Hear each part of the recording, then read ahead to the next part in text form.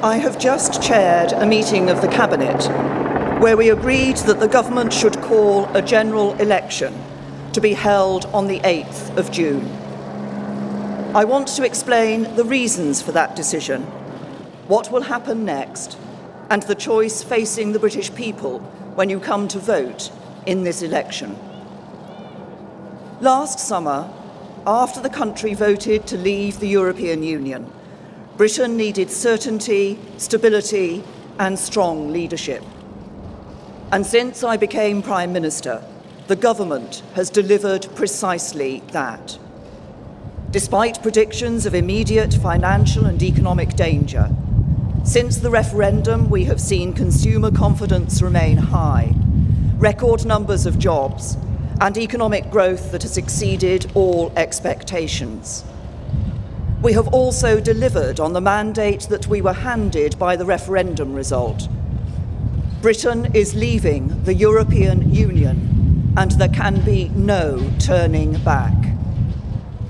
And as we look to the future, the government has the right plan for negotiating our new relationship with Europe. We want a deep and special partnership between a strong and successful European Union and a United Kingdom that is free to chart its own way in the world. That means we will regain control of our own money, our own laws, and our own borders. And we will be free to strike trade deals with old friends and new partners all around the world.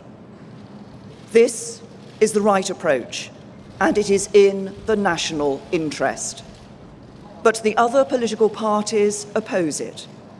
At this moment of enormous national significance, there should be unity here in Westminster. But instead, there is division. The country is coming together, but Westminster is not. In recent weeks, Labour have threatened to vote against the final agreement we reach with the European Union. The Liberal Democrats have said they want to grind the business of government to a standstill. The Scottish National Party say they will vote against the legislation that formally repeals Britain's membership of the European Union. And unelected members of the House of Lords have vowed to fight us every step of the way. Our opponents believe, because the government's majority is so small, that our resolve will weaken and that they can force us to change course.